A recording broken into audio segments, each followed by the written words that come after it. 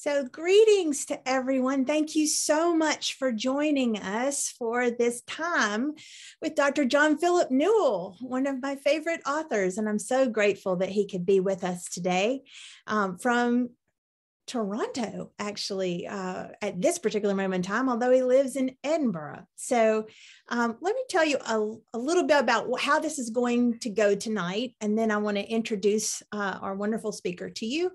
So, some of the things about tonight. Uh, first of all, we are going to have a wonderful session with him, but we're going to start with a little bit of a, a prayer, conversation, introductions, these kinds of things. And that's going to go for a little while. You are welcome if you have a comment or you have a question, um, you can put that um, in the chat and we will check it and then, you know, if, if get to those um, later. But first, we're just going to have kind of a rich conversation about some of these uh, wonderful things about Celtic Christianity and creation and uh, all these uh, beautiful expressions of our faith that um, John Philip is very, very good at um, expressing deep wisdom on. Uh, so, towards the end of our time, we will address uh, your questions more fully. And so, be thinking um, and feeling as we go through this conversation uh, what resonates with you, um, what inspires you to action. Um, what is it that is drawing you into a deeper relationship with the spirit? Um, and what is sparking in you that golden divine piece of you um, in this particular moment in time? And think of ways that we can share those so that uh, we will edify this moment and one another and really uh, create something beautiful together. Okay. Um, so, some things about, uh, please keep yourself um, just muted uh, and so that we don't have a lot of disruptions in the midst of it. Um, so, but let me tell you a little bit about John Philip Newell. So, he is by birth a Canadian, but I said he lives in Edinburgh. Um, and so he's very familiar with this side of the Atlantic, the other side of the Atlantic, and he's gone back and forth and back and forth, and also other places in the world and learned and taught um, some of the things that he has learned. Uh, I'm hoping he will share with you tonight uh, interfaith kinds of things, um, East and West. He has so much knowledge to share, but he teaches regularly in the United States and Canada and also leads international pilgrimage weeks on Iona in the Western Islands of Scotland. So his PhD is from the University of Edinburgh, and he's offer, authored over 15 books, including A New Ancient Harmony, Sounds of the Eternal, The Rebirthing of God, and Listening for the Heartbeat of God, and Sacred Earth, Sacred Soul. Sacred Earth, Sacred Soul is the one that we have hopefully um, read already before we got on here. But if not, please grab that book as soon as possible so that you can learn some more stuff um, from John Philip Newell. Um, Newell speaks of himself as a wandering teacher following the ancient path of many lone teachers before him in the Celtic world, wandering Scots, seeking the well being of the world. Isn't that fabulous? If only we had more wandering teachers in our lives that are part of our everyday. And perhaps you can think of some as we talk who have been those wandering teachers for you. Or maybe you're a wandering teacher for someone else. So, um, as we do this thing together, please be aware that there are many books of his that you can uh, read. One of my favorites is a book called Celtic Prayers from Iona. And it's a very simple and beautiful book that you can pray every day. He has it put in, I have all his books. Well, not every single one, I think, but I've got most of his books. And so it looks like this Celtic Prayers from Iona. Um, and I want to share a prayer that he wrote um, in this uh, for Wednesday. And so the Wednesday prayer, opening prayer, and Thanksgiving, it goes like this You are the love of each living creature, O God. You are the warmth of the rising sun. You are the whiteness of the moon at night. You are the life of the growing earth. You are the strength of the waves of the sea. Speak to me this night, O God. Speak to me your truth. Dwell with me this night, O God. Dwell with me in love. Amen. So, with that, let us um, get into some of this conversation um, by starting with this beautiful thing that you talk about regularly in your work is the beloved disciple John, and how when John lays his head on Jesus' chest, he is literally, physically listening for the heartbeat of God. It's tangible, it's loving, it's beautiful, but it's a metaphor that speaks to a lot of things. And something that reminds us that the way of the Celts who follow the beloved disciple as the primary disciple is a place and a, a people that really find something where God is tangible in creation as central to theology. But one of the things that you talk about is the difference in that versus what the Roman, whether you're talking about haircuts or you're talking about the date of Easter or theology, there's a difference in the Celtic theology and the Roman theology. And most of us hear a lot about the Roman theologies and particularly the doctrines of original sin and creatio ex nihilo. I would love for you to talk to us a little bit about those things and how there's a difference and what difference that makes for us and how we can be invited into that conversation towards this listening to the heartbeat of God. Mm. Thank you, Anna. And uh, first of all, I'd, I'd like to say how how good it is to be with you all. Thank you for inviting me.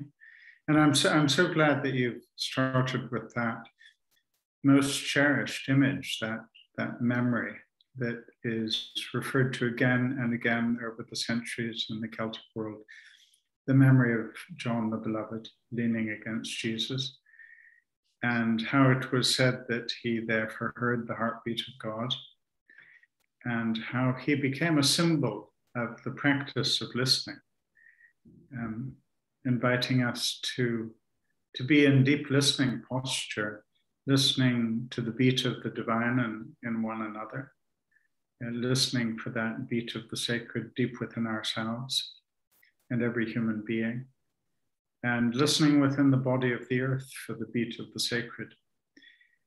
Uh, so th- this is uh, a practice that is cherished uh, through that sort of icon image of John leaning against Jesus. But I think it really informs the, the vision and the practice of, of, of this Celtic wisdom that, that one can trace and that I try to trace in this new book from the earliest centuries right through to today. And I think one of the reasons it's very good to, to start with this image of listening is that, that that's what I that's my prayer for us tonight, that we that we may listen for the sacred in, in one another, that we may know that sacred presence deep within ourselves. And, and through this listening together, we, we can become more aware of, of the essence, that beautiful unspeakably beautiful essence of the divine within you, within, within each one of you. And uh, to grow in an awareness that, that this is the presence that we bear for one another. Mm-hmm. Each one of us a, a unique and unrepeatable expression of the divine. And uh, my sense is that each one of us have, has been born as unique expression of the divine uh, to play an absolutely unique role in the well-being of the world. And um, and each one of us, whether in very quiet and hidden ways, um, ways that may be unnoticed by others, or in much more sort of public and explicit ways, each one of us is, um, is called to be that unique expression of the divine. So I'm, I'm, I'm delighted that that, can, that, that image um, is with us from, from the very beginning tonight. And um, the distinction that you've drawn between the Celtic and the Roman, or um, I prefer often to refer to it as the Mediterranean, um, uh, so that we don't get stuck at, at any misunderstanding. This is not referring to Roman Catholicism so much as, as the sort of medieval or um, um Mediterranean imperial tradition of Christianity that, that began to have uh, some distinct features that, that were very different from the Celtic, uh, especially from the fourth century onwards. So when Christianity uh, got into bed with empire in the fourth century, when Christianity became the religion of empire, um, there was a, a, sort of trade-off that, that happened, I believe. I mean, it was a, it was an enormous transition in Mediterranean Christianity to go almost overnight from being a persecuted minority to being um, the religion of, of empire with status, with power, with privilege. And um, th- there was a sort of trade off. Um, yes, safety from persecution, but increasingly the religion of empire uh, was, was being expected to to teach truths that were convenient to, to the empire. And I think that there, there are two sort of primary expressions of that that happen in and around the fourth century. And the one is the doctrine of original sin. Um, I think that this was, this was um, a teaching that was convenient to empire because it really wanted to say that what is deepest in every person is opposed to God rather than being what is deepest in us being of God. Uh, and part of, of course, the Celtic tradition wanting to celebrate that what is deepest in us is, is of God, uh, was to say that the wisdom of the divine is deep within each, each one of us. And um, empire doesn't really want to hear that wisdom is to be found at the heart of the people um, I think empire was much more inclined to want to control the people or to exploit the people or to use the people. Um, and of course, and we're speaking about the, the Roman Empire in the fourth century, but these statements can apply to any empire, whether that's the British Empire or the American Empire, any nation that tries to exert its control over the world for its own sake, uh, operates in, in imperial mode. Um, so uh, someone like St. Augustine um, uh, was the first to really begin to give uh, full and, and um, explicit expression to what we now know as the doctrine of original sin, which uh, was to say that what is deepest in every human being is opposed to God rather than being of God. Um, it's it's it's it's um, a teaching that that is, I think, uh, perverted in many ways when when we think of holding a newborn child in our arms. I mean, I I regard the births of my four children as the most sacred moments of my life. Um, in their face, uh, I could see something of the countenance, the light from which we've all come. Uh, in their skin, I could smell some of the freshness of God, the freshness of life's origin. So, uh, you know, one of the points I, try to make in the, in the book is that these are things that we know. I, I believe that we know that about the newborn child. And part of the way forward, I believe, is for that deep knowing to be rekindled or, or uh, liberated, set free. and uh, so again and again in the Celtic tradition, the, the great teachers see themselves as releasing a wisdom that's already there uh, and inviting their listeners to, to, to live in relation to that deep knowing about the sacredness of the newborn child. And of course, when the great Celtic teachers speak about the sacredness of the newborn child, they're not just speaking about the child, uh, they're speaking about what is deepest in you um, and in every human being. Um, so uh, this has enormous Im- implications. Um, the to see that what is at the heart of every human being is is is that unspeakable beauty of the divine. It changes how we look into one another's eyes. Uh, it changes how we think about one another. Um, uh, it changes our expectation of what we will uh, be in uh, encountering the deeper we move into the true essence of, of the other. It means that um, we can see ourselves as liberators. Um, you know, I, I don't need to bring anything to you. I, need, I don't need to deposit some, some wisdom or some beauty or some creativity in you. My role is to, is to release it in you um, because you, you are made of God. And um, I love I love what um, Julian of Norwich and you know in later centuries, um, and she came from that sort of Northumbrian uh, territory of Britain that was very influenced by the Celtic mission, and I love how she says uh, we're not just made by God, uh, we're made of God. Mm-hmm. Um, we're not simply fashioned from afar by a distant creator.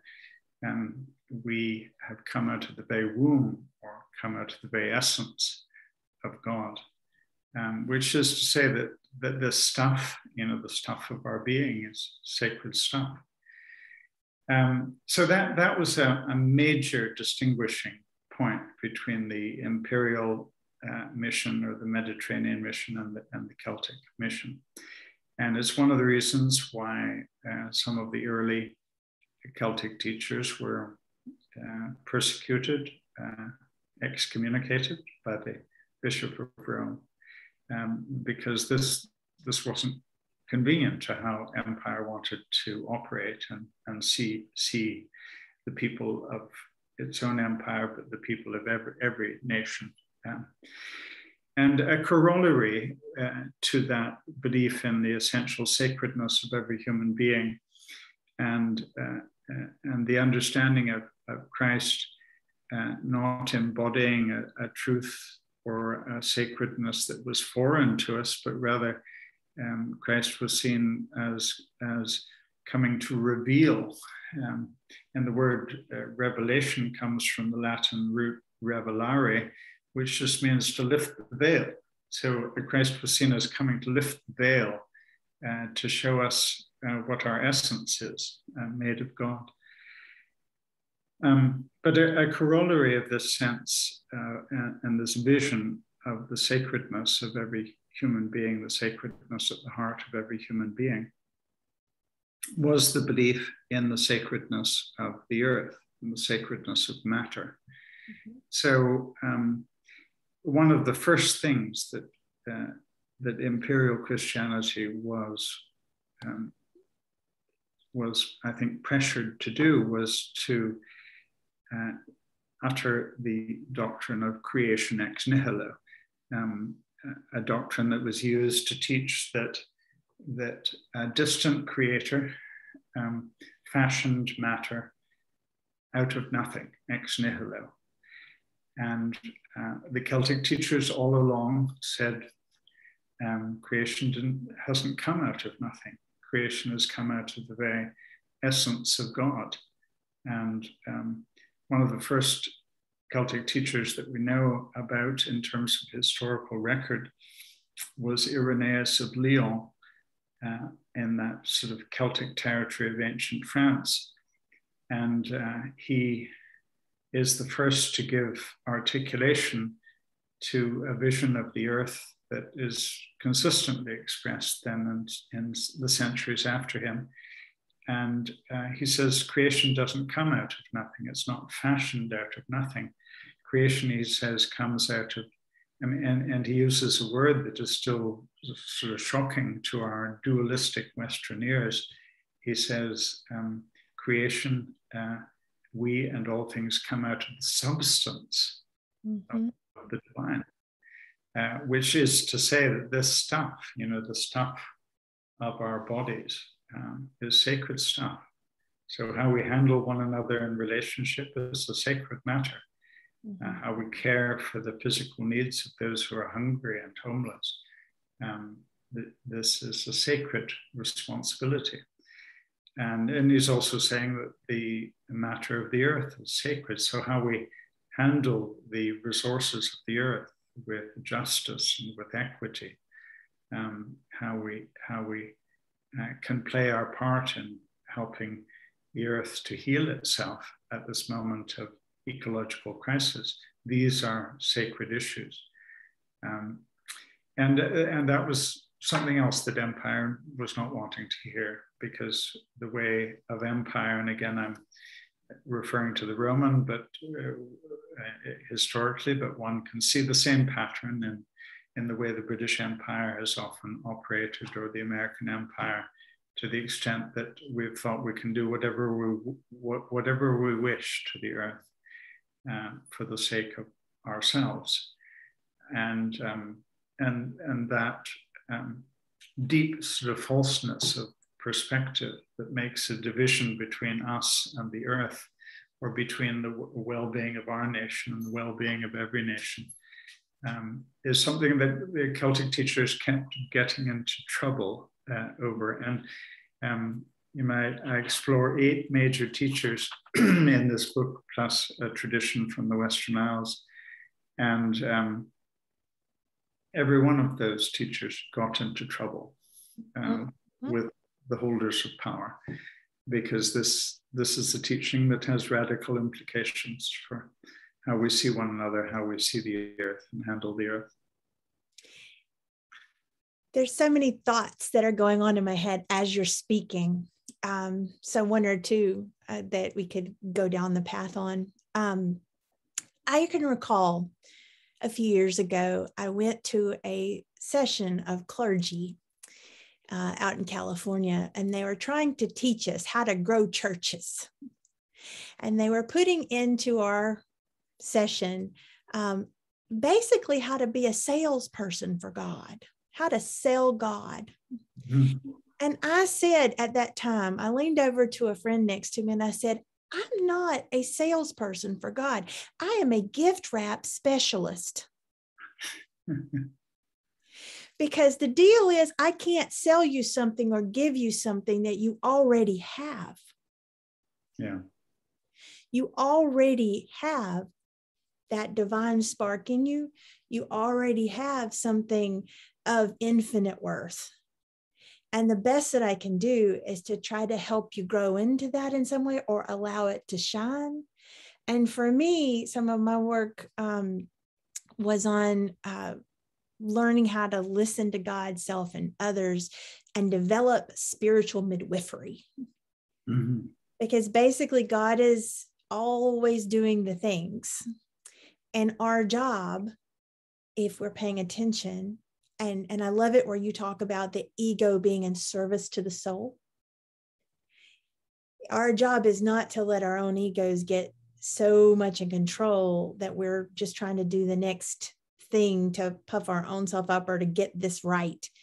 But to understand that there is uh, something greater than any of our present goals. There is something that is beautiful um, in humility in the moment. Um, and when you talk about, and I'd love for you to share that a little bit, you talk about a story of the golden thread and what that has meant um, to children and what it means to us and the Celtic teachers and the golden thread. And I wonder if you could speak a little bit to that and um, maybe it into how you um, have seen or interacted with that golden thread in others as you've gone along your path. You have so many stories um, about these kinds of things um, from women coming up and bringing their books to you too. oh, oh, there's so many i yes i have paid a lot of attention to things that you have said but i want you to share them with the people who are here um, mm. and let them in on some of the gifts of the golden thread yeah the the uh, the image that i uh, draw on in, in the book uh, in particular relates to to uh, a very little known uh, historical uh, character, teacher from the 19th century named Alexander John Scott. And um, I, I, did, I did my sort of PhD research on, on Alexander Scott. And I mean, he was a perfect uh, PhD candidate because no one in the world knew anything about Alexander Scott. He had been very much forgotten. So by, by day three of the research, I was the world expert. And um, and then sort of consolidated my position for the next three years. but um, the, the um, I mean, the really interesting thing about Alexander Scott was that he, he was not a he was not a writer. He was a great orator, and and he influenced people um, through through his uttered word and through relationship, uh, rather than through many many writings. But he, he was the one to use this image of, in the 19th century, royal garments in Britain were still woven through with a golden thread. And if the golden thread uh, were taken out of the garment, then the whole garment would unravel. Um, and he said, So it is with the image of the divine uh, woven into us if somehow it were taken out of us, we, we would unravel, we would, we would cease to be. Which is to say that this uh, golden thread of the divine is not simply a feature of our being um, or uh, a, a, golden thread that might be in uh, one person and not in another, or in one religion and not in another, or one nation and not in another, or one sexual orientation and not in another. That thread of the divine is uh, deep, deep within the fabric of every human being. Mm-hmm. And um, uh, I was exploring some of these themes in in Ottawa in, in Canada many years ago, uh, and also focusing on those beautiful words, opening words from John's Gospel, um, in, in which he speaks about the true light, the light of the divine that enlightens every person coming into the world. And I spoke of how the, the Celtic tradition saw itself as not, not somehow bearing light and depositing light into people who didn't have light, uh, but rather saw itself as, as a liberating um, force to, to set free the light that is already deep in, in the so called other. And uh, in attendance that night in Ottawa was a Mohawk elder uh, who had been invited to to be there to make observation about some of the parallels between Celtic wisdom and uh, native wisdom or First Nations wisdom in Canada. And uh, that, I mean, the, the, the, resonances are extraordinary uh, between these indigenous traditions and, and the Celtic wisdom. Uh, but at the end of the talk, uh, he stood with tears in his eyes, this beautifully strong young Mohawk elder, and he said, as I've been listening to these themes, I've been wondering where I would be tonight. And I've been wondering where my people would be tonight. And I would I have been wondering where we would be as a Western world tonight if the mission that had come to us from Europe centuries ago had mm-hmm. come expecting to find light in us. Um, we can't undo the horrendous wrongs that have been done in the name of the truly humble one, Jesus. Uh, we can't um, erase that, that history of, of perhaps the most arrogant expression of, of religion that humanity has known, conquering, uh, sort of triumphing in the name of truth. So we can't undo that.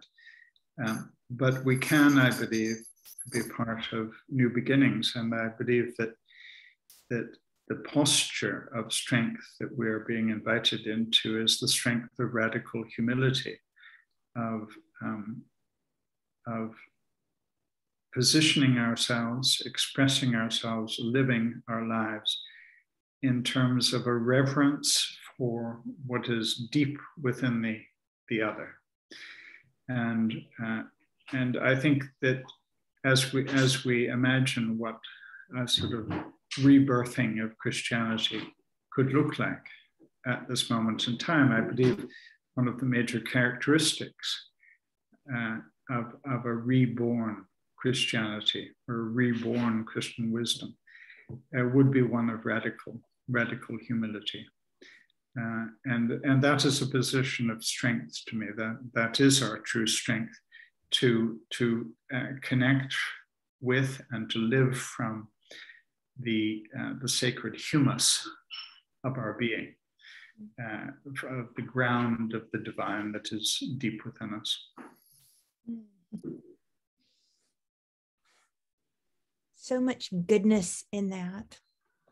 And I'm still thinking too about ground and going with that for a moment. You talk about John Muir and the importance of uh, the bare feet as connecting to God in nature, God in creation, and all of the different stories. I spent uh, almost my entire adult life in California. Hmm. And most recently, pretty close to Yosemite, within a little hop there. And I can remember, um, well, I guess it was about this, almost this time last year. I went with a friend um, to a place called Mono Lake, which is near Yos- really near Yosemite. You can just see the the mountains of Yosemite right across. Um, and there was this place called Panum Crater, and it's a volcano and it's a plug of a volcano and you can hike up to it and sit in the plug of this volcano and so you're literally sitting on like a blood vessel of the earth right like a scabbed over blood vessel mm. and it's so powerful and when you look out the wilderness is still all around you there are so much of that land actually belongs to LA and other places or the forestry service and other things. So people aren't on it. And you can look out for miles and miles and see just expanse. Mm-hmm. So that when you're thinking about somebody like John Muir, these are not that far off from some of the things that he saw. And that land is protected in part because of his work. So I wonder um, if you will kind of go down that path um, of feeling God in nature and the importance of the connectedness of that and spirituality. I would love to hear some of your Iona stories um, because you talk about, for me, that was a thin space. Mm. Um, and it's not the only thin space. When I'm in the redwoods, also a thin mm. space the sequoias a thin space but there are places sedona a thin space right mm-hmm. um, there are places around that feel like the spirit is is just a, a special something is happening it's like a magical mystical mm-hmm. something and so would you talk a little bit about these thin spaces about iona about um, how we can be more present in those spaces um, and grow in our spirituality that way Mm. Yeah, and uh, you, are all very welcome to come to Iona and, and uh, experience this, not just hear about it. Um, uh, George MacLeod, the founder of the modern day Iona community, and very much one of my most important teachers in my life.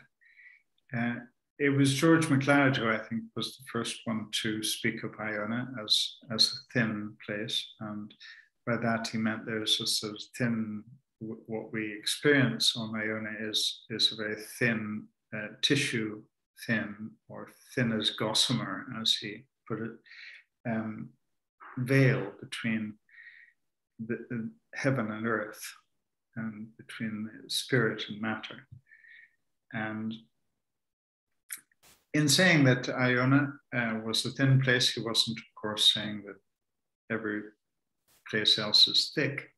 Uh, he, he, was recognizing that these thin places like Iona and places of pilgrimage and, and places of uh, much more immediate uh, sensing of and accessing the sacred, so these places where we can almost sort of t- uh, reach through the veil that divides heaven from earth. Uh, these places he, he saw as uh, very importantly, sort of not, not places to uh, grasp at or try to hold, or not to try to think that, well, we, we, we need to spend our whole lives on, on Iona. Uh, but rather, uh, these were places that were like sacraments uh, uh, of, of what we are being invited to see and to experience and be in touch with and serve and adore in every in every place.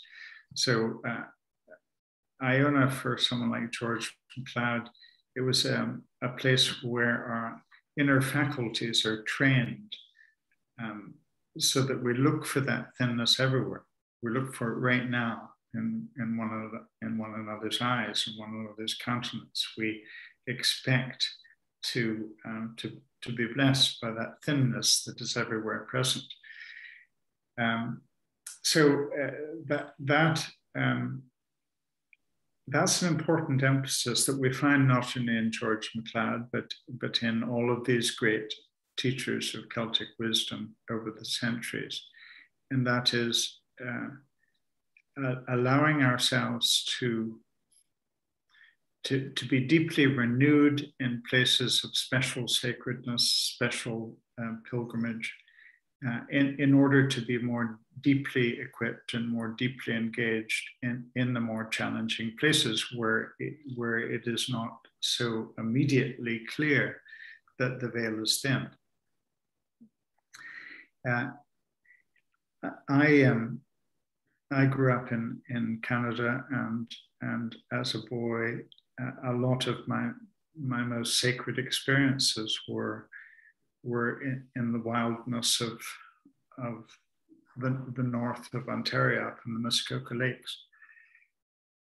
And uh, interesting looking back on it, I, um, I didn't really have language to, I didn't have spiritual or theological language to uh, ex- express just how sacred those that landscape and those places and times were to me because I've been reared in a very um, conservative evangelical tradition and I'm, I'm very indebted uh, to, to my sort of birth in that tradition. That's not where I am now, but I, I honor that tradition um, because I think it taught me to pay attention to the heart. Mm. And I, I believe I've, I've brought that tradition, uh, that, that sort of heartfelt, uh, heart attentive um, practice uh, with me and into um, um, a, a, broader sort of Celtic expression of our Christian inheritance. Um, but that tradition, uh, because it made, it's made such a, uh, almost a divorce between spirit and matter. Um, I didn't have the language to know that uh, these forests that, that uh, in whose presence I knew I felt well, I, I didn't have language to see that this is the presence of the divine uh, that in the midst of and, and I'm being nur- nurtured by and inspired by. Uh, so it wasn't until I um, began to study theology in, in Scotland when I was uh, in my early 20s that I, uh, first of all, encountered George MacLeod. And I remember the, the first time I heard him speaking publicly. I mean, he was about 80, I was about 20. Uh, he, he was, you know, he was a great legend of a teacher. Uh, but uh, when I heard him speaking about the sacredness of the earth and uh, heard him speaking about the non-violence of Jesus as the way of true relationship, um, I I had this experience of of hearing what I deeply knew at mm-hmm. some level, but had never been given theological religious language for. And uh, I remember in, in hearing him, uh, some part of me thought, um, I, I, must find a way of coming close to this man.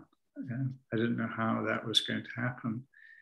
Um, but a few months later, I, the universe uh, opened the door, and I was on the island of Iona and um, met the great man. He, he was on Iona as well, and he was very much an Edwardian gentleman um, in his upbringing and um, and and generation. Um, so it was a, a, term of, of respect and sort of uh, friendliness to call someone by their last name. And so after a few pleasantries, he, he said, Newell, come back with me for whiskey. Uh, so back, you know, I don't think I'd ever had whiskey in my life, and certainly not before five o'clock at night. And uh, but you know, when the great man says, "Come back for whiskey," you go back for whiskey.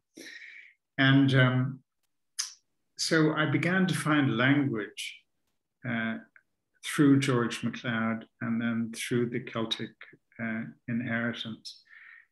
I began to find language for what my experience had been as a boy and as an adolescent, knowing that I, I was well when I was in the context of the wildness of nature.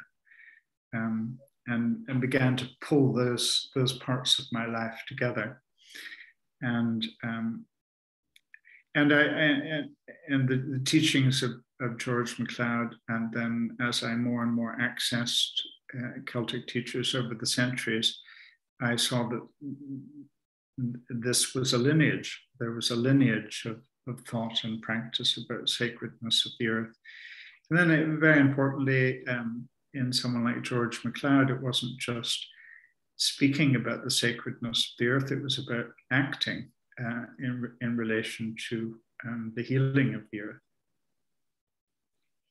Thank you for that. And one of the things, there are several good MacLeod stories that I really liked, including the how all of these different resources in the midst of the war just ended up on the shores perfectly the right length to rebuild the abbey. So i encourage you to get the book so that you can find the funny stories from uh, from macleod in there because it's totally worth it. Um, but another part of the macleod stories which resonated with me is um, a season of my life a couple of different seasons of my life have been connected with japan. Um, and one of the seasons of my life, I was pastoring a Japanese American church in Santa Maria, California. Um, and I had parishioners that in my church that were children who survived Hiroshima, the bombing of Hiroshima. And you talk about this divorce um, of spirit and matter. Uh, that well, actually, MacLeod talks about this divorce of spirit and matter that happened.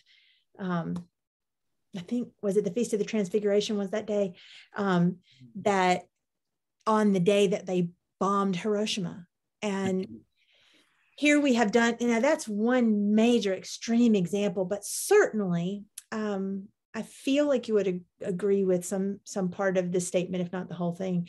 Um, every time that we do things that are against um, the love of nature we are continuing to do harm to the very face of god. Um, and so here we are trying to uh, reform. um, and and you, I can't remember right now the quote. Oh, you talk about grace and nature, and how things are reformed um, through grace, the act of grace. Uh, but it's sin. So maybe you can talk a little bit about sin and grace and uh, reformation um, and lead into I don't want to script this for you, but at the same time, um, and lead into um, salvation and what does that mean to heal the world? Um, the Jews would talk about tikkun olam as part of that, um, the restoration of the world. But certainly, we um, we have all of these things because um, we come out of the Jewish tradition because Jesus was a Jew. Um, and so here we are um, trying to figure out, you know, how do we do this right now? How do we heal the world if we are going to be in this tradition where we do see goodness um, instead of evil as the fundamental nature of things, right? Mm. So, yeah. could you think about that for a little bit? Yeah, my goodness, big questions. Um, uh, I think, first of all, it, it's really important to, to spend a bit of time with the understanding of nature and grace that comes across in, in, the, in this Celtic stream of wisdom. Uh, because in so much of our Western Christian inheritance, which was so influenced by the Mediterranean or by the imperial stream and the sort of creedal statements and so on of the fourth century that have so dominated Western Christian thought. Uh, in, in so much of that Western Christian inheritance, we saw grace and nature uh, in opposition. So and grace is given to, to, in a sense, free us from our nature. Mm. grace is given somehow that we might become something more than, than natural uh, or other uh, than, than what is at the heart of nature. And again, they sort of um, the, the Western tradition got very stuck with this sense of original sin that what is deepest in our nature is opposed to God. So uh, the understanding that comes across in, in the Celtic stream is that both nature and grace are of God, and um, that uh, the gift of nature, as one of the great teachers, John Scotus Eriugena, said, he said, um, the gift of nature is, is the gift of, of being. Um, that and, and our being is sacred. The gift of grace, he said, is the gift of well-being. So uh, grace is given not in opposition to our nature, but grace is given to reconnect us to the true essence, which the true heart of our nature, which is of God, made of God. So uh, we're not given grace to become something other than ourselves uh, we're given grace to become truly ourselves, uh, to truly connect with that well source of the divine that is deep within us. That has enormous implications for how we view ourselves, uh, how we view others, how we view uh, the, the, wisdom of, of other spiritual traditions, um, that, that they, they are bearers of the sacred gift of nature and they have also um, uh, celebrated spiritual practices and, and ways of seeing that are about releasing what is deep within us. A number of years ago, uh, I was giving giving um, some talks in Virginia, and uh, as part of my visit to Richmond, Virginia, uh, an interfaith, interspiritual dialogue occurred. And so I was there with a rabbi and with an imam, and I was there as the Christian teacher. Uh, sounds like the beginning of a joke, doesn't it? There was the rabbi and the imam and the, and the Christian teacher. And um, at one point, uh, the, the evening was, was sort of opened up for people to make comments and questions. And someone asked if we would speak about the the doctrine of original sin. Mm-hmm. And um, I mean, th- this is a Christian problem. This is not a Jewish problem. It's not a Muslim problem. Um, those traditions are very clear that we are made in the image of God um, and, and, that what is at the heart of our being is of God. So um, it, it's, uh, it's a Christian theological problem. It's not a Jewish or Muslim problem. But it was the rabbi who was the first to respond, and he said, um, he said, original sin. Um, he said that to most Jews would mean that was a really original sin. That was a really creative, sin, really creative sin. Um, and uh, so at, at, that point, I, I thought, thank God for interfaith dialogue. I mean, here, here this rabbi. That's awesome. Yes. Had a room full of primarily Christians laughing about this absurd um, doctrine of original sin. Um, so, uh, getting back to this sort of relationship between nature and grace, so grace is given to set free um, what is at the very heart of our nature. So, the, uh, the sort of confluence of, of nature and grace within us.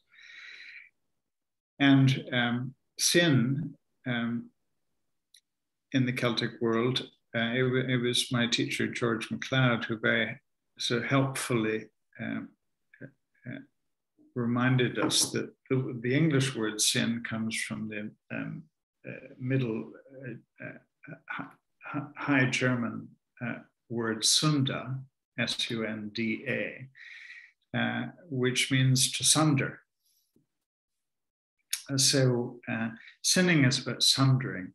It's about uh, ripping apart uh, my essence from your essence, or the heart of our being from the, the heart of another nation's being, or it's about sundering or severing the relationship between uh, humanity and, and, the rest of the earth and the other species of the earth. It's about severing or sundering a true uh, relationship of honoring um, between one people and, and another. So um, we we uh, have been part of a lot of sundering, mm-hmm. um, sundering between our religion and other religions, between our nation and other nations, between the human species and other, Earth's other species.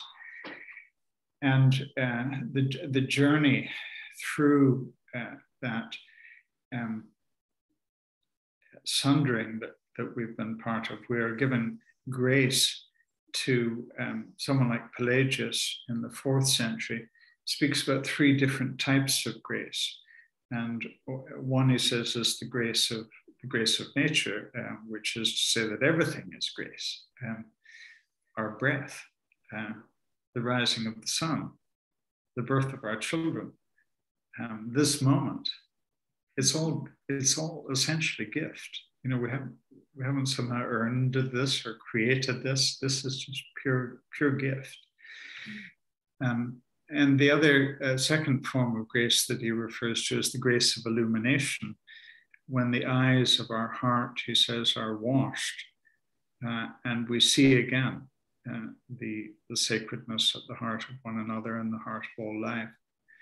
And the third, he says, is the grace of forgiveness. So when we have sundered, when we've been part of sundering, when I have betrayed you or been untrue to the heart of your being, and, and in that sense, sundered or violated the tie, the essential bond between us and all things.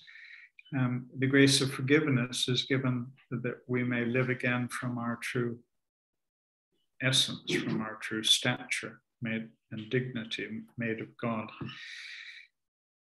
Um, so re- redemption is about um, reconnecting, um, the restoring, as uh, if I may sort of borrow the lucidity of a great Jewish teacher to, in fact, uh, uh, paraphrase what I think the Celtic tradition is saying. Martin Buber says, it speaks about redemption as the restoration of betweenness. It's the, it's the bringing back mm. into relationship uh, what belongs in, in, in union or, or in reverence.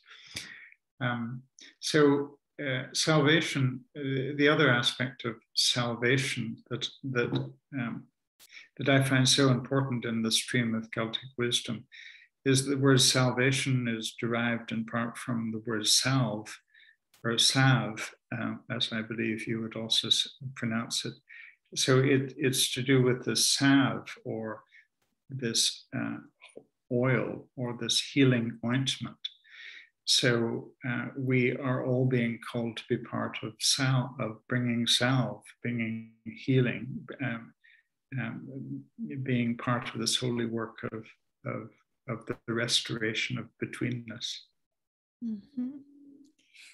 Let's talk about that a little bit in terms of uh, we have touched on um, dualism and uh, non dualism. You have now brought in the tri faith. You talked about an imam, a rabbi, and a, a Christian. And actually, um, there used to be a series, um, more than a joke, I think was the name of it, um, which was the imam, the rabbi, and and the Christian pastor prior to my time here, they actually had a series that that was the title of it. Um, right. And so you're speaking our language in this respect. Um, and Alexander John Scott, um, when I was reading your book, was really fluid, um, uh, fluent and fluid, I guess, in learning how to integrate in this non-dualistic way all of these different learnings because there is a truth that is beyond the tradition right? Something that resonates deeply within me and deeply within you and deeply within other tradition and we start to hear the divine. Yeah. and when we go and we sit with people um, because there's there are those golden threads that resonate uh, one with another. And we when we can find them then we start building unity in the world.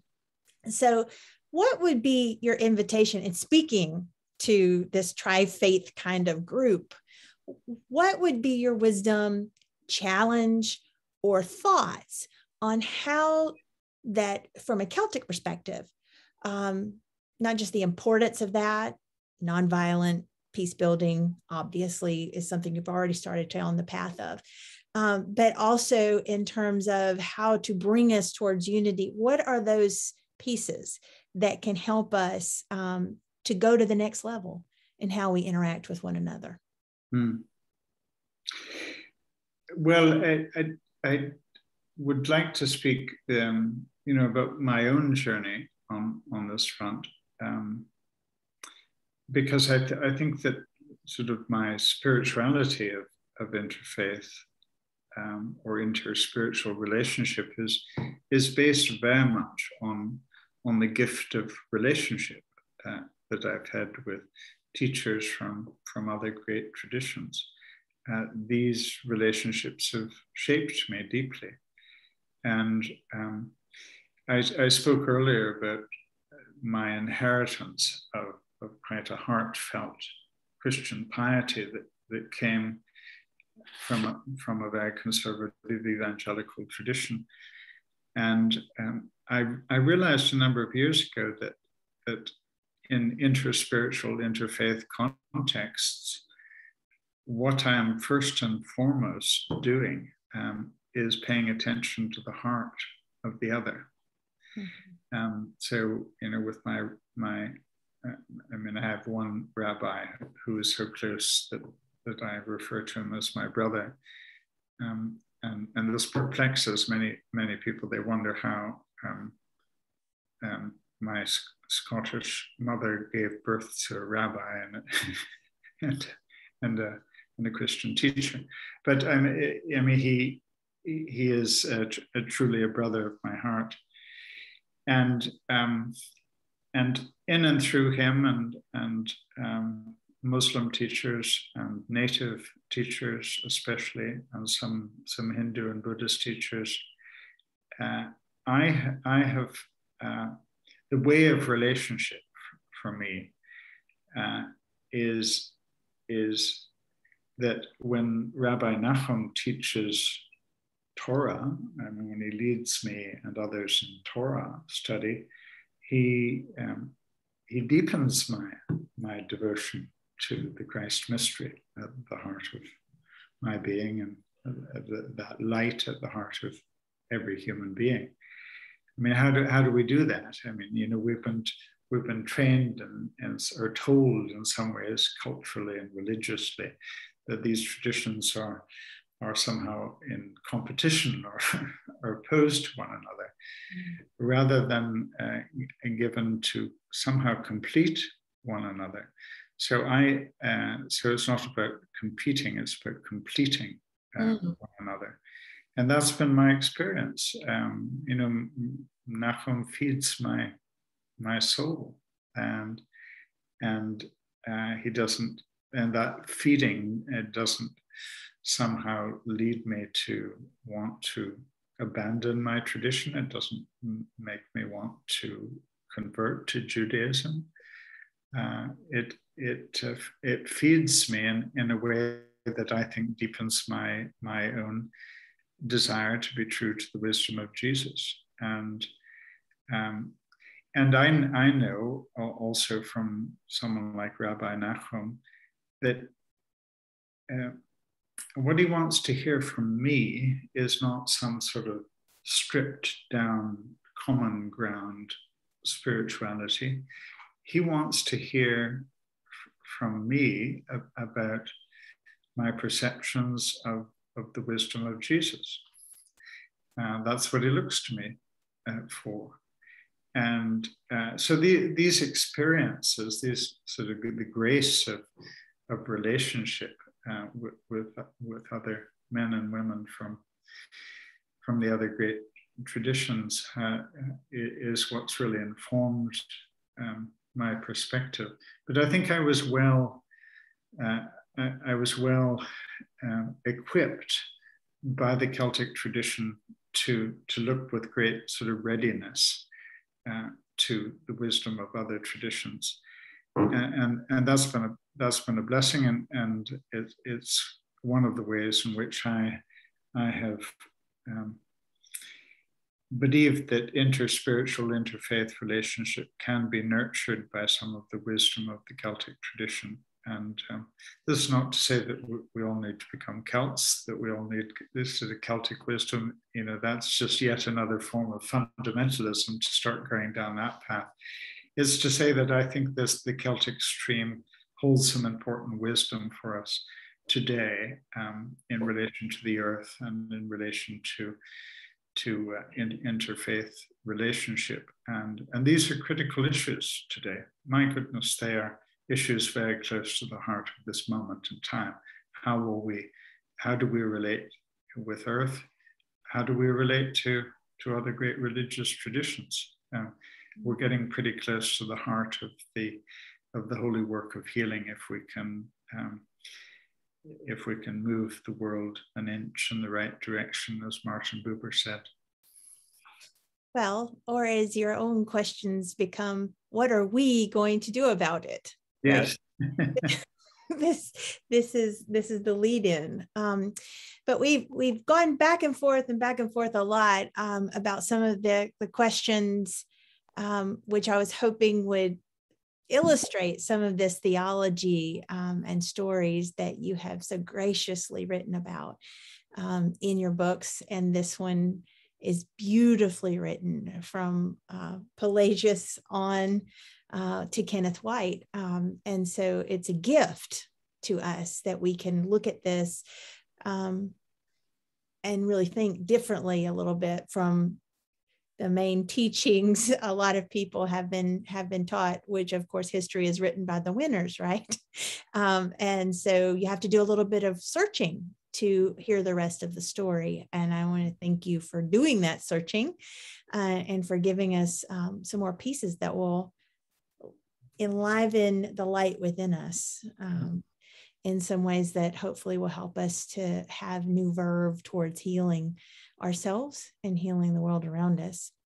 Um, yeah, if I if I may just say Anna, um, very briefly about Kenneth White because that's a name that that I expect most people haven't heard about. Even most people in Scotland have, have not um, known about Kenneth White, who I think is one of the greatest um, poets of, of the English language. Um, and he's from Scotland, and, and, hardly anyone knows about him in Scotland.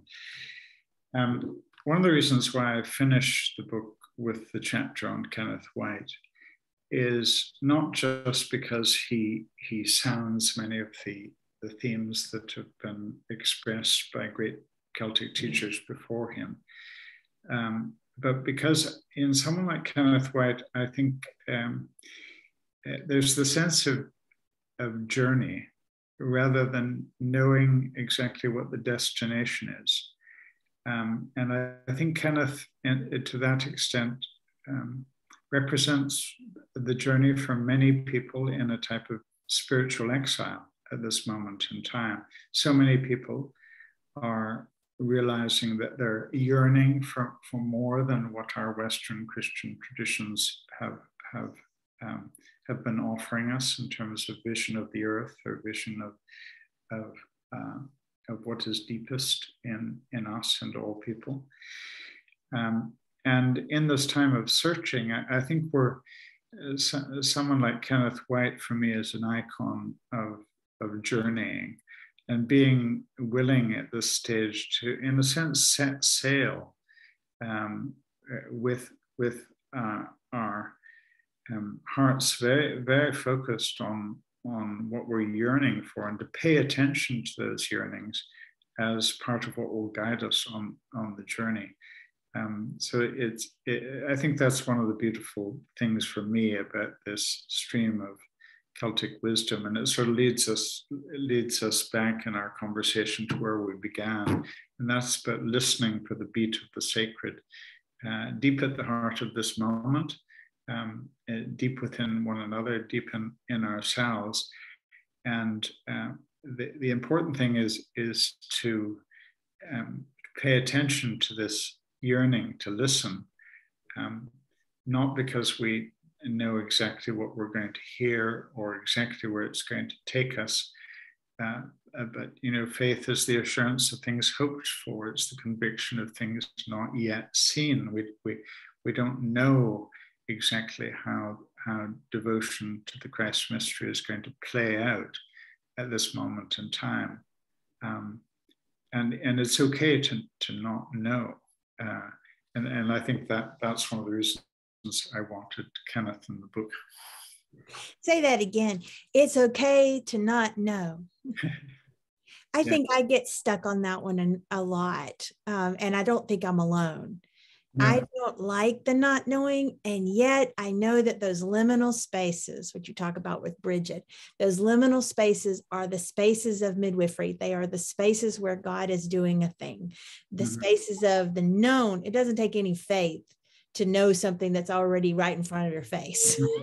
it takes a whole lot of faith to to not know what's going to happen next and to trust the journey. Yeah. Yeah. Uh, and it's the, you know, it, for me, it's the it's the nature of true relationship. Um, it's about trusting the in love, trusting the essence of the other, and and that's not not to know exactly where you're going to go together. It's it's it's it's to um, it is to focus on an attentiveness and a readiness to imagine. I mean, to be made of God is to be made of is to be made of the imaginer. Uh, I love what Thomas Berry says about the universe. You know, he says it's so amazing, it must have been dreamt into being. Mm-hmm. Um, and then he goes on to say, and we are in such a mess, ecologically, religiously, politically, culturally. We're in such a mess. He says we need to dream the way forward. We need to mm-hmm. allow ourselves, through the sacred gift of the imagination, to imagine uh, ways of seeing, ways of relating, uh, ways of living that, that we haven't known anything of before. Mm-hmm. And um, that, that's why one of the chapters in the new book is on the sacred imagination. I, I think uh, this is a gift that, that we should be praying for and seeking and trying to release um, further employing of the faculty of the imagination. Mm-hmm. And knowing when when to journey and when to let go and when to hold fast. This is a growth area yeah. for I think most of us. Yeah. Um, and yet God gives us imagination um, through ourselves, through other things, um, and having trust uh, that when you let go, God hasn't let go of you. Yeah, absolutely. Right. Um, the, the, there's some um, John Scotus Eriugena, this ninth century teacher, um, loves to play with words. And one of the words he plays with is the Greek word for God, which is theos. And he says it's derived from the Greek verb theo, which means to flow. Uh, so he says God is the flow.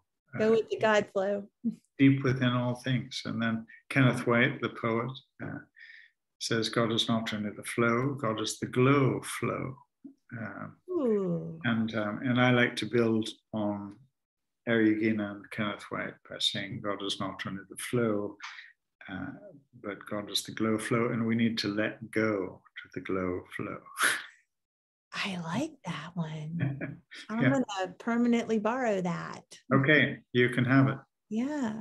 Um, so I know oftentimes um, one of uh, one of the things that after we've talked and talked about something, although I would love to talk with you for the rest of the night, I realize that time is limited.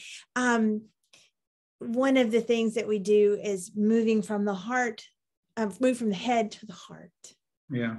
Is there a way that you would um, invite us to transition into a heart space?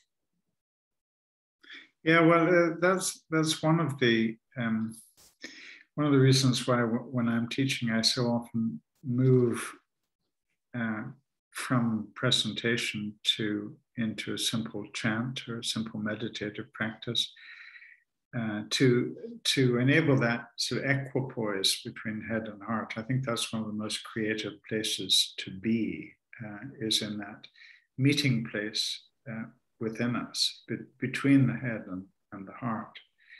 And I think one of the ways to, to do that very simply is to, at, at, this point in our time together, to, to take um, just a moment to, in silence, pay attention to what's stirring. I mean, what, what has, what from this conversation and the themes that we've been exploring, what is catching our deep inner attention now? And um, what's beckoning to us from within?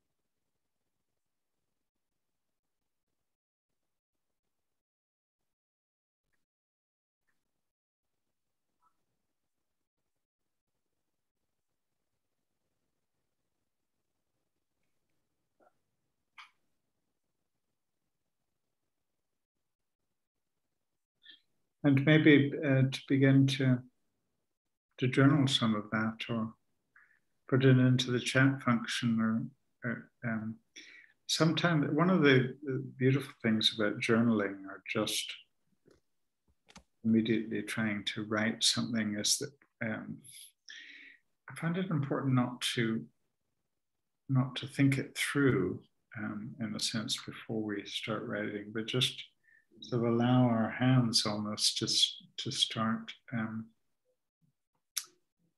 to be available to what's stirring us um, and the, and and also to know that there are no rights and wrongs about what is stirring us. I think we've lived often in a pretty inhibited religious context in which we feel we need to get our doctrine right or get you know say things that that have sort of fit neatly into orthodoxy and um, let's just tr- let's trust that um, that questions, stirrings uh, coming up are are coming essentially from that from that holy place within us that um, that we're longing to reconnect to.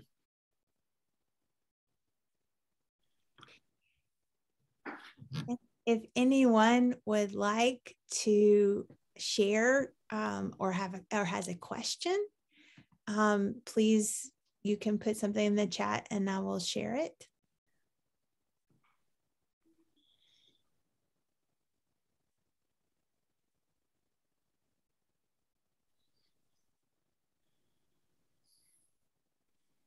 people are thinking. We've given them a lot to think about. Would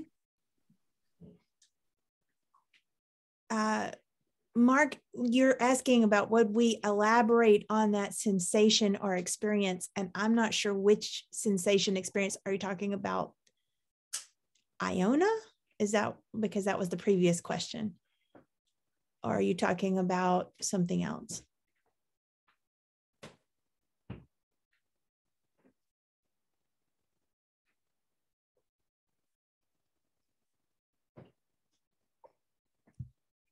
Iona. Would you elaborate? okay, we'll be here for a little while longer because um, he can elaborate on it. it. Yes, I haven't been to Iona yet. It's one of the dreams of my life is to go there. And so hopefully um, when we can get back going places, um, that can be something uh, that I, I do um, in the near future. Yeah, I hope I hope you will. And uh, why don't you come together from from countryside? Um, so uh, maybe I could uh, describe a little bit about what we do on our Iona pilgrimage weeks, and just to give you a sense of how my 40 plus year relationship with that island has unfolded. So, um, at least four times a year, uh, we have international pilgrimage weeks on Iona that I, I, I get to, to lead. Um, I mean, what, you know, some uh, people often say, um, you know, when are you going to retire? When are you going to sort of stop your, your work? And I think I'll be shuffling on to Iona to lead pilgrimage weeks as long as I have breath. So I, you know, I, I'm uh, tempted to let go of many things, but not not those Iona weeks. It's, it is an extraordinary place. Um, Iona appears to have been a holy island long before uh, the mission of Columba in the sixth century. So it appears to have been a pre-Christian holy site, uh, which is so typical of, of the Celtic mission that, that it would not uh, ignore uh, or somehow try to conquer or take over, but, but deeply respect uh, uh, a sacred place. And Columba, for instance, in the sixth century, refers to Christ as his druid, um, which, which, is a way of, of reverencing the druidic wisdom that, that preceded Christianity. So it's been this place of pilgrimage um, since before the sixth century.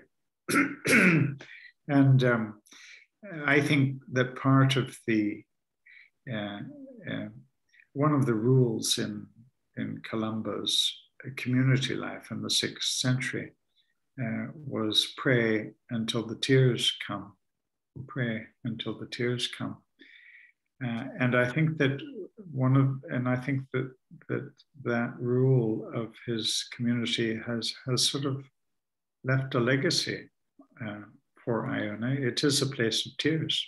Uh, uh, I have met so many people over, over the decades who say that when they stepped onto the island, they, they began to weep. Um, something began to flow in them.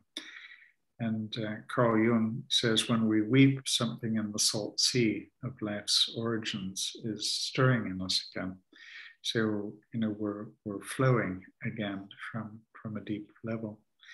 And um, but you know that's not everyone's experience. Sometimes it's much much later into a pilgrimage week uh, of of study and spiritual practice and community life that there's a, a deep stirring comes. But um, it, it is very much that that combination. So we always have some teaching, sort of addressing the mind about ways ways of seeing, particularly from the Celtic wisdom. Uh, we always accompany that study and that uh, spiritual learning with spiritual practice, so times of meditation, times of simple spiritual rituals together. We always begin our day uh, with a half hour of silence and in the uh, 12th century uh, chapel of Michael. And uh, that, that's, I mean, what a beautiful way to begin a day. And it is the way I begin every day. Um, and, and it's often on my own. But to do that together, uh, you know, with a group of 40 people uh, on Iona at this time of year, you know, sort of as the sun is beginning to rise um, over the, the hills of Mull and over the sound of Iona. Um, and uh, we always make sure that there's a lot of time to wander the island because the island itself um, is part of that thinness that uh, George MacLeod spoke about, um, so that the uh, receiving the blessing of earth, uh, earth, sea, and sky, what the what the Celts often refer to as the cathedral of earth, sea, and sky. I mean that that's the real cathedral, and what what happens in our church sanctuaries and so on should just be seen as side chapels onto the onto the great cathedral because that's the living uh, unfolding um, expression of, of, of, the divine and the universe. Um, and, and then there's, there are these uh, sharing of meals together, and often some really important conversations happen over a table. Um, uh, so it, it's those many, many components of, of Iona. Um, an Irish priest friend of mine has said that Iona has about it some, something of the freshness of the first day of creation. Mm. And um, I think that's a beautiful way of putting it. And it is a beautifully pure place. It, you know, it's the Atlantic air coming in off the ocean, and and it's a wild place. And you know that sort of leads leads us back to the themes of someone like John Muir. Um, that uh, that for, someone like Muir, uh, the sacred is wild. Um, and, and it's important to get in touch with that wild, sacred depth within us, that depth, that dimension of us that can't be controlled. Um, it's, uh, it's because it's of God, it's untamable.